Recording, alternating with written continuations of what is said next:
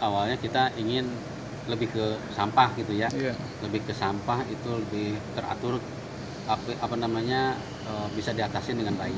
Yang kedua ketika sampahnya udah bisa diatasin kita ingin kampung ini jadi hijau gitu dengan penanaman berbagai macam tumbuhan yang bermanfaat.